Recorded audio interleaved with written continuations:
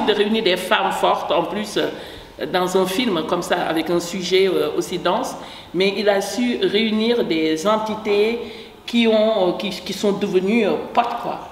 On était une vraie famille. Moi, quand j'étais dans des jours off, j'avais envie de venir à la cantine. Il me dit, mais passe, viens, on se manquait.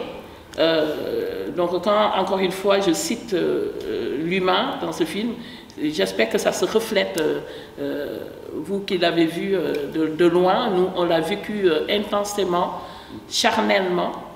Et, à un moment, il y a eu quelques-unes qui sont passées pour, pour nous voir. Tu te rappelles euh, tu sais que celle-là qui, défilait, ouais, qui sont passées, je trouve que c'était faux qui pleuraient. Avant même de voir le contenu du film, elles étaient déjà touchées par le fait euh, qu'on mette en lumière, qu'on les mette en lumière. Parce qu'on parle des petites mains, mais c'est des grandes dames, c'est des dames, ces gens-là, pleins de force, pleins de dignité et tout, et de voir euh, surtout un homme, à mon avis, euh, parlaient d'elle comme ça.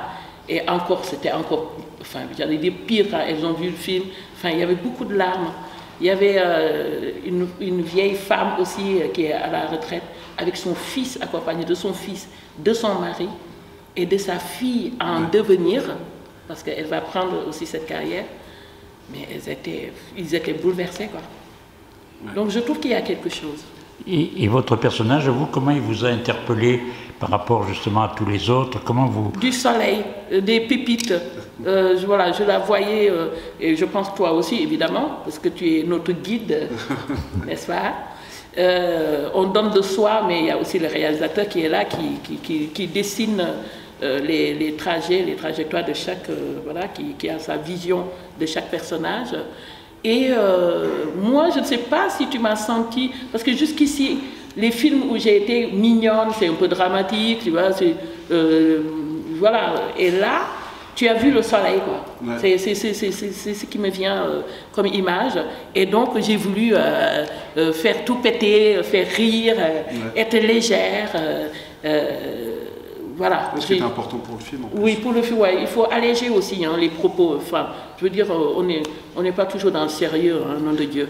Parce que même ces femmes-là, quand elles sont dans les coulisses, dans des moments de repos, parce qu'il il, faut, dans ces métiers durs, euh, temps.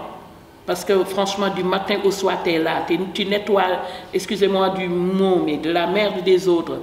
Tu, tu es derrière, on te parle mal, on te, on te, il y a une espèce de hiérarchie comme ça, où euh, l'humain est comme...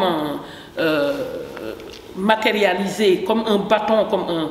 Je sais pas, il n'y a pas. Voilà. Moi, j'ai voulu. Euh, ah, tu vois, lâcher. c'est comme ça que je l'ai. C'était important parce que justement, Rachel et, donc les autres femmes qu'on avait rencontrées, mm. d'ailleurs qui étaient en qui étaient en figuration dans le film et qui ont défilé dans le défilé.